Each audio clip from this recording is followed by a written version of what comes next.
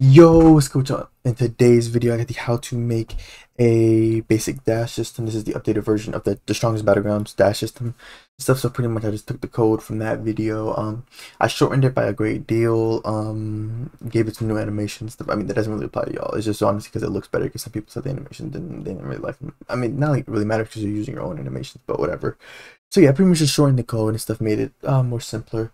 And stuff. I was trying to get rid of the part portion, like where you have to create a part and all that, but I couldn't. So we're stuck with the part. But anyway, let's go ahead and get straight into it. So thank you guys for all the love and support on the um the strongest or no, how to make a battlegrounds game part one to five. Y'all blew that video up. It's been like 24 hours. The video got like almost 900 views now. Y'all been going crazy on that. Thank you for all the love and support I'm showing. I really do appreciate it.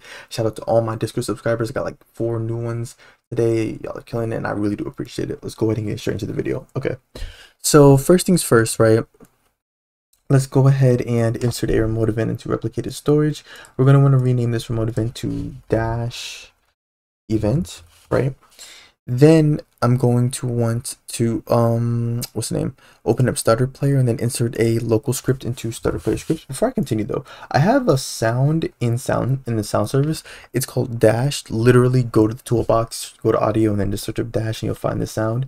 Instead of it's just like a little, it's kind of like a, I believe it's like a wind sound or something like that. So like it's just like the wind or something. Like let me show you. So this is going to play every time, you know, we use dash. So you, you can get it some, but this is optional though. You don't have to do that.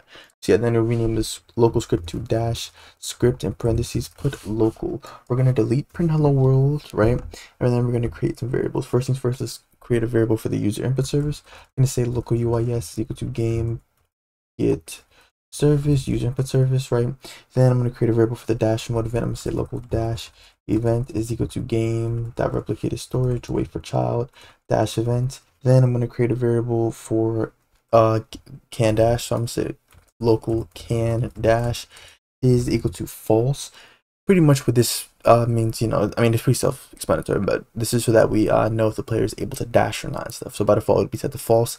Then whenever they, uh, what's it called? Whenever they press down one of the, uh, you know, movement keys, W, A, S, or D, stuff, then it'll be set to true and stuff because it's like, okay, they have a direction. Now we're just waiting for them to press Q, so then, you know, they can initiate the dash in said direction.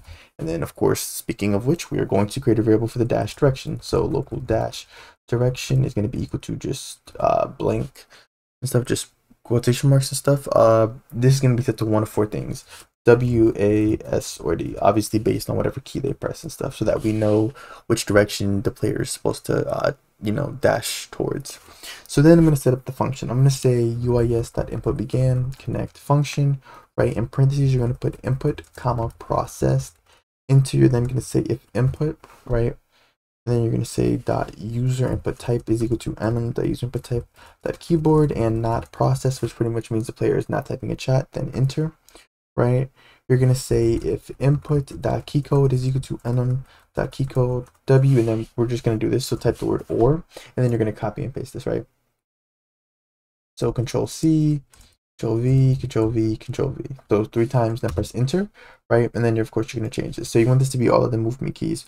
So W, stick to this order, by the way, like the WASD, just stick to that order. So WASD, right? And then obviously delete this last or.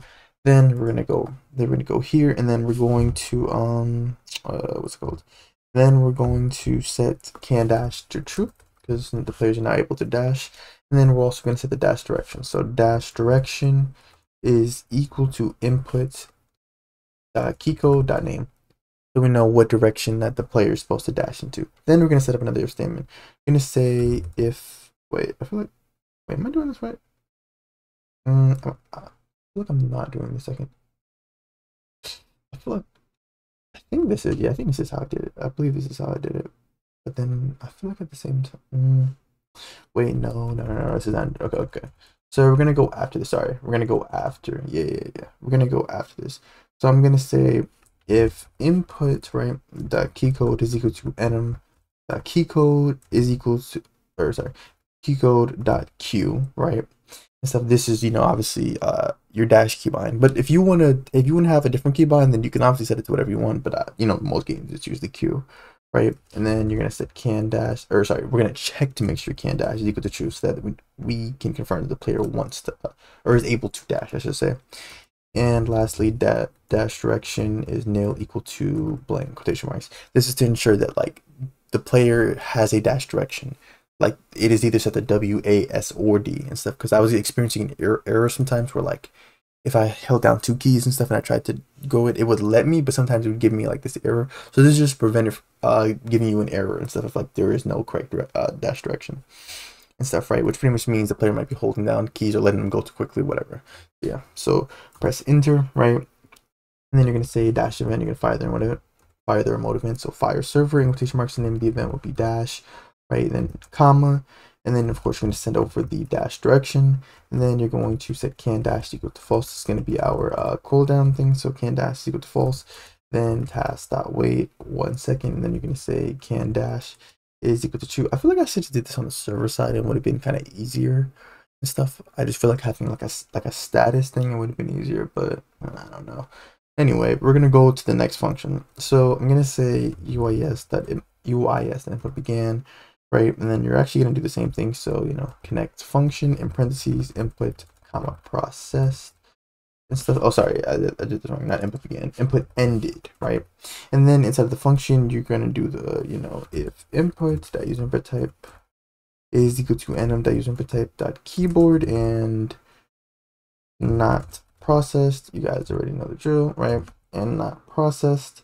Then you're going to say if input dot keycode is equal to enum.keycode.q because you know this is for dashing and then you're going to say can dash equal to false right? And then dash direction is equal to uh like nothing right? So this is pretty much when a player releases the q key. So it's like they're not they're uh what's called? Like they've dashed so now we're resetting the their direction and stuff right? And stuff. And then once they you know press it again then we'll set it back to true. So it'll be set back to true. So now we can move to the server side. But That was really like the I feel like that was the worst of it, but server side is like it's a little bit stuff, not too much honestly. It's like 40 lines, I think. But anyway, let's go ahead and move to it. Okay. So if we open up server script service, right, we insert a server script. We're gonna want to rename that script to dash script in parentheses. We're gonna put server. You guys see I have four animations. Simply click the plus icon on the script. In, uh, press animation, you're going to want to throw your animation ID in there. You have to use your own, by the way, you can't use mine. Um, and then you want to name them. Naming is very important. Name, name them the exact same things as I have named them. Name them the exact same way I have named them and stuff, right? And the reason for that is because I have a system where it's going to be, it's going to fire, it's going to know the, uh, the name of the animation and stuff based off of the direction. Like it's going to say letter, then dash animation. So like you guys see how we're sending over the dash direction and it's either going to be a, D, S, or W. So yeah, so it'll make more sense when I get to the actual part of the script. But yeah, so let's get this. Uh, let's get two services, then our remote event. So first things first, let's get the sound service. So local SS is equal to game get service sound service. Then let's get the debris service. So local DS is equal to game get service debris. You know, I'm really starting to think it's not even a service since it doesn't have the word service in it, but I've just been calling it that for months. But anyway, um, I'm then going to get the dash remote event, so we can just head to the uh, server script and then just copy and paste Control C, Control V. Then we're gonna say dash event about server events, connect function, and parentheses you're gonna put PLR with the shift the player, comma event type, comma arg. Watch for argument number one, then enter. Then gonna create a variable for the player's character. Local character is equal to player dot character then set up an if statement. So if event type is equal to quotation marks dash that'll be the name of the event.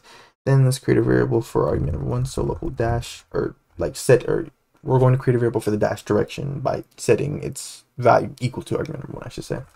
Dash direction is equal to arg1 right? And then i'm going to create the attachment and you know the, the linear velocity here's how we're going to like actually you know push the player or move them i should say. So local attachment is equal to instance that new in quotation marks. Of course, you're going to put attachment, parent this to the characters, humanoid root part, right? Then you're going to create the linear velocity, linear velocity. And then I'm going to say is equal to instance that new linear velocity, parent this to the attachment and then we're going to clone over a part. So you can put this part inside server storage. So simply literally just insert a part. You don't have to size it anything. Just insert a regular part, set its transparency equal to one, make sure it's anchored and that can collide is turned off, and that's literally it. Just put it and then throw it inside a server storage and then you're literally good. That's all you gotta do. So then we're gonna say we're gonna create a variable. So part is equal to game that server storage dot part you're gonna clone it, and then you're gonna say part that parent is equal to workspace. Then you're gonna create a variable for um the multiplier. So we're gonna say multiplier, right? And then you're not gonna set its value though. We're gonna set that uh, via this if statement I'm about to create. So we're gonna set a string, uh, like a long line of if statements. So first thing first, I'm gonna say if dash direction is equal to w, which means they're trying to go uh, forward stuff. Trying to go forward, you're gonna say multiplier. Multiplier. Wait, is that how you spell it? Uh, how, that's how you spell it. Is equal to c frame dot new negative 1, comma negative 1, comma negative 20, because, you know, that's how, you know, you go forward. Then you're to throw in else. Then we can copy and paste, control C, control V. Then you can copy and paste that control C, control V, and control V. Then, of course, you're just to change this. So W, then A. So for A, you know, we're moving to the left. So for this, we want uh, this right here to be negative 20, and then we can set this back to negative 1 right? Then for this one, of course, we're, you know, S, so that means we're moving backwards. So all you're going to do is just delete the negative sign here. And then for the last one, you know, D, which means we're going to the right. So you're just going to do the opposite of what we did for A. So positive 20. And then we want this to be set to negative 1, right? And then once we're done with that, we can move on. We're finished with that uh, statement. Then I'm going to set the animation track. So I'm going to say local AT is equal to character dot humanoid dot animator load animation in parentheses you're going to say script or sorry you're going to say script regular bracket you're going to say the dash direction variable what i was talking about that the dot quotation marks dash animation this is why i said it's important to name them correctly because it's going to be the letter you know, for the direction you're trying to dash in, and then followed by the towards dash animation, right? And then, okay, I'm good. so from there, we're going to play the animation, and then we're also going to play the sound. So then I'm going to say ss dot dash play, right? And then I'm going to finalize the stuff. So I'm going to say part dot c frame is equal to character dot humanoid root part dot c frame and then we're going to multiply it times the multiplier. As you can see it's clearly based on whatever direction we're going in. Stuff as they're all different right? So then you're going to set you're going to set linear velocity dot max force is equal to 5 9 so 1 2 3 4 5 then you're going to say linear velocity dot vector velocity is equal to in parentheses you're going to say part dot position minus character dot humanoid root part dot position go on the outside and then you're going to say dot unit times vector 3 dot new in parentheses put 100 comma 0 comma 100 right? And then you're going to say linear velocity dot attachment 0 is equal to attachment right? And then for the last thing you're simply going to say debris service add item you're going to say attachment or sorry attachment comma 0 0.1 and then boom just like that we are done Let's go ahead and test to make sure this works. As always, if you guys want access to any one of my scripts or models, you guys can become either a channel member or a Discord subscriber. Link to either one of those options can be found in the description. Highly recommend them. But yeah, let's go ahead and test to make sure this works. Okay. So if I, um, you can use the spawn point for reference for, you know, which direction you're going in. So if I press Q, boom, I go forward, you guys hear the sound. Then, you know, to the right, to the left, backward. My animations are playing, everything. These are the new animations I got. I feel like they were better and stuff. So boom, left, forward, right, back, left, or right, back. So yeah, there we go. Um, if you guys enjoyed this video, definitely like, subscribe if you're new and stuff. Um, I plan to do a uh, what's I actually plan to use this exact same code and just modify it a little bit to um make a uh what what is that called again? I forgot. Um, the you know the thing where like in like anime characters they move really fast and then like they leave those little blurred lines. Um, I forgot. Okay. Anyway, then make a video using this code soon. That's the point, right? So yeah, I hope you guys enjoyed this video. If you, if you did, leave like, subscribe, and I'll see you guys in the next video. Thank you guys for watching.